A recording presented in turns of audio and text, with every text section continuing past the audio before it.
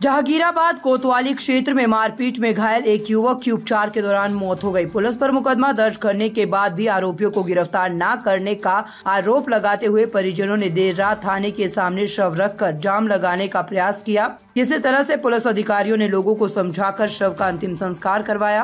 प्राप्त जानकारी के मुताबिक जहांगीराबाद कोतवाली क्षेत्र के गाँव अंधियार निवासी रवि कुमार ने दर्ज कराए मुकदमे में बताया था कि एक सितंबर को उसके पिता विजय सिंह जिसकी उम्र 48 साल थी, पुत्र हो राम सिंह को रास्ते में रोककर गाँव निवासी प्रभु पुत्र कैलाश, सुधीर पुत्र दर्शन सिंह, विनीता देवी, पत्नी प्रभु और लोकेश कुमार पुत्र ब्रह्मा सिंह ने गाली गलोच की थी और विरोध करने पर उनके पिता को लाठी डंडों से मारपीट कर घायल कर दिया था। जिसमें उसे काफ़ी अंदरूनी और बाहरी चोट आई थी। आरोपी धमकी देकर फरार हो गए थे। परिजनों ने उसे मेरठ मेडिकल में भर्ती करवाया और कई दिनों तक मेरठ मेडिकल में भर्ती होने के बाद उसे दिल्ली के सफदरगंज अस्पताल में रेफर किया गया।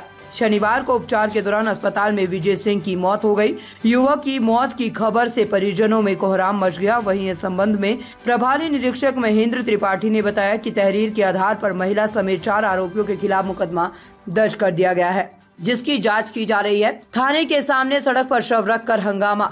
दिल्ली सफदरगंज अस्पताल से पोस्टमार्टम के बाद शव लेकर परिजन देर रात जहांगीराबाद थाने पहुँच गए और पुलिस पर आरोपियों की गिरफ्तारी न करने का आरोप लगाते हुए थाने के सामने अनूप शहर बुलंदशहर रोड पर शव रखकर हंगामा शुरू कर दिया गया और जाम लगाने का प्रयास किया गया। मौके पर पहुँचे अनूप शहर सीओ गिरजा शंकर त्रिपाठी ने आरोपियों की गिरफ्तारी का आश्वासन देकर लोगों को शांत किया और इसके बाद पुलिस की मौजूदगी में मृतक के शव का अंतिम संस्कार किया गया। कोर्ट परिजनों ने सड़क पर शव रखने का प्रयास किया था, लेकिन समझाकर अंतिम संस्कार करवाया गया। मुकदमे में गैर इरादतन हत्या की धारा बढ़ाई गई है। आरोपियों को जल्द ही गिरफ़्तार किया जाएगा। बुलंदशहर से ब्यूरो रिपोर्ट।